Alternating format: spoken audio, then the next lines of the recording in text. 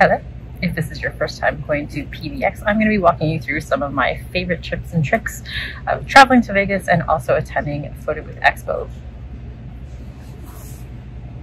I am actually flying in from Ottawa and if you are Canadian as well, then there's a couple of things that you guys need to keep in mind. One, you will need to probably get a COVID test before you depart within 72 hours, but please make sure to check your government website to make sure that the um, updates haven't changed because I am recording this video in November and PBX isn't until February. So make sure that you know that you have to have both your vaccines in order to travel as well as a negative COVID test. Also make sure that you arrive at the airport really early because travel is just not the same right now. I'm currently sitting here after a three hour delay on my way to Vegas for another show. But in this video, I'm gonna show you guys everything that I wish I knew the first time I went to PBX. While I make my way to Vegas on a plane, why don't I take this time to tell you a little bit about Photo Booth Expo? Photo Booth Expo, or PBX as we like to call it, is an annual show for all things photo booth related. Education and hardware are all rolled up into one. If you're thinking about getting into the photo booth business, have been in the business for a few years, or are a veteran, there's something there for everyone. This is where new and innovative products in the photo booth world are launched, and it's where you get to hear and meet industry leaders. It's where you get to chat with vendors face to face that you often wouldn't be able to. And most importantly, it's where you get to network, which, in my opinion, is the best part. People come from all around the world, and you'll see vendors there from South Africa, Russia, Canada, and of course across the US.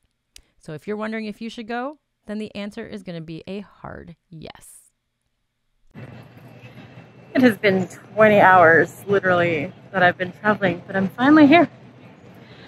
Uh, so there's a couple ways that you can get to your hotel. You can rent a car, you can Uber, and there's a shuttle I'm sure there's other ways, but those are the top three that I can think of right now. So the South Point does offer a shuttle, and I will link that below. But I generally like to take an Uber because I'm not really a fan of waiting. But if you don't want to pay for an Uber, then you can just take the shuttle. So that's what I'm going to go do now. I'm going to go catch an Uber, go to my hotel room. And I will jump back in tomorrow morning and give you guys a lot more information. Good night. My first tip as a veteran PBXer is to make sure that you arrive a day before the expo starts and don't leave until the day after the expo ends. The biggest mistake I see is people leaving on the last day and then they miss out on the epic closing party. This is honestly one of the best parties for the photo booth industry with live music, drinks, and it's usually sponsored by somebody. So you don't want to miss this one because it's where you get to network the most.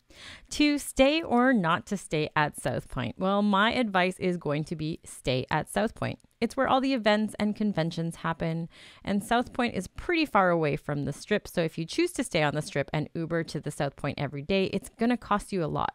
At peak times, I've seen it be 40 to $60 one way.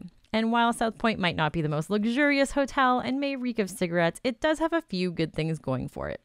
First off, the food on site is pretty damn good and the prices are decent. I love the breakfast buffet personally, as there's always something really good and it's affordable. If you happen to rent a car, then South Point has one great feature of ample free parking. It's one of the only hotels with free parking.